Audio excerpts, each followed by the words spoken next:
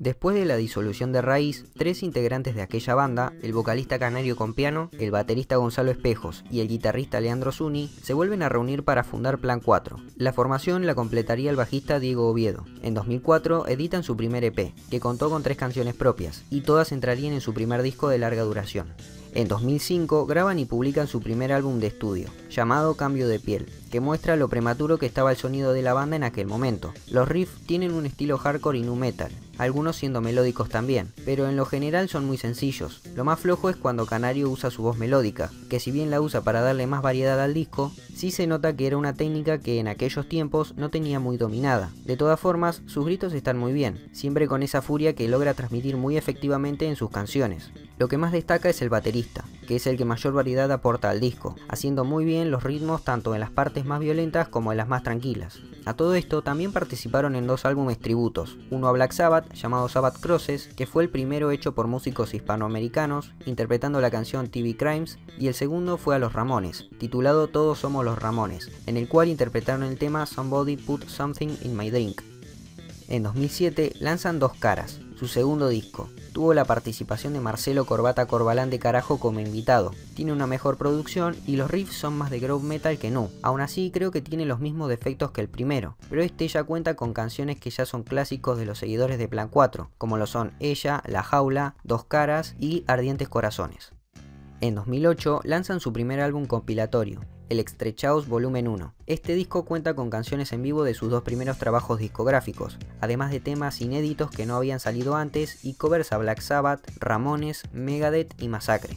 En 2010, Diego Valdés se aleja de la agrupación y en su reemplazo entra el actual bajista de Plan 4, José Matías Majarvis, más conocido como El Lechu. Ese año graban y publican su tercer álbum de estudio, llamado En Mil Pedazos. Este disco pega un salto de calidad enorme en comparación a los anteriores. Tiene una intención de ser mucho más agresivo, pero no se queda solo en eso. Canario mejora muchísimo la voz melódica e incorpora una voz más cultural, y los riffs se escuchan mucho más complejos y trabajados que con anterioridad, lo que le da una mayor variedad a la música. Dentro de este gran disco, las canciones que más destacan son En Mil Pedazos, Mi Último Recurso y Mi Falta de Fe. En 2011 hacen la presentación oficial del último material en el Teatro Colegiales, presentándose frente a aproximadamente unas mil personas, convirtiéndose en uno de los shows más grandes que habían hecho hasta ese entonces. Este recital es grabado y lo publican en formato de DVD un año después con el nombre de Que las cabezas rueden. Ese año también ocurre la partida de Leandro Zuni de la agrupación, que había estado desde los inicios y se puede decir que es un integrante clásico de Plan 4. En su reemplazo entra Ezequiel Arias que provenía de Clay, la banda de metalcore. En 2013 editan y publican su cuarto álbum de estudio, Horizonte Rojo Sangre. El disco significó el debut discográfico de los dos nuevos integrantes. Desde las letras es el disco más triste y melancólico de todos, y musicalmente tiene un vuelco completo al groove metal. También hay que destacar que se nota un aumento de la calidad de producción del material en comparación a los anteriores. No llega al nivel de En Mil Pedazos, pero está muy bueno de todas formas. Las canciones más conocidas son El Nido de la Serpiente y Yo lo quise así. En 2014, Ezequiel Arias es reemplazado por Pehuen Verdún, el actual guitarrista de la banda. Ese año también cumplen su décimo aniversario y para celebrarlo lanzan su segundo DVD llamado 10 años de pura destrucción, grabado en el Teatro Vorterix, y reeditan su primer disco Cambio de piel, que la verdad para esas alturas sí sonaba un poco mal. Desde este punto, Plan 4 empezaría a tocar mucho más seguido en lugares como el Teatro Vorterix o el Palermo Grove, lo que demuestra su aumento de convocatoria con el pasar del tiempo. En 2017 editan su quinto álbum, Lleva tu mente al límite. En mi opinión es uno de los discos que mejor suenan de todo el metal argentino hasta la fecha, y no es para menos, fue grabado en la nave de Oseberg. Por otro lado, las líricas tratan casi en su totalidad de la muerte, abarcada desde distintos puntos de vista, desde los asesinatos en una guerra hasta una mirada más filosófica de qué hay después de la vida. Musicalmente sigue siendo groove metal y a veces llega a sonar al metal más extremo en canciones como Kamikaze. Creo que es bastante superior al anterior que sacaron y es uno de mis discos favoritos. Los temas más destacados son En la eternidad, Los ojos del destructor y Soy el fin.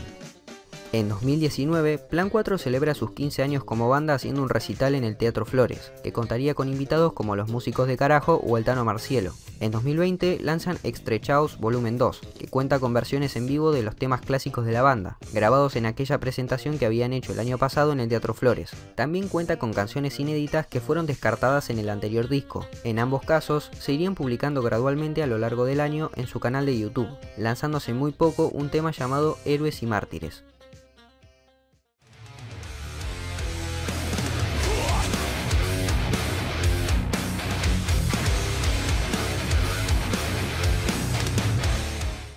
Y bueno gente, así es como llegamos hasta el día de hoy. Aunque no hablé muy bien de sus dos primeros discos, Plan 4 es uno de mis grupos favoritos del metal argentino. Suenan muy bien y acapararon un gran público sin necesidad de ser los metaleros más trus del mundo, logrando complementarse bien con bandas de metal alternativo como Carajo y ganándose el respeto de grandes músicos de bandas clásicas como el Tano Romano o el Tano Marcielo. En fin, eso es todo por hoy. No olviden que pueden seguirme en Twitter que está en la descripción. Si les gustó el video pueden darle a suscribirse y a compartir y nos vemos dentro de 15 días. Chau.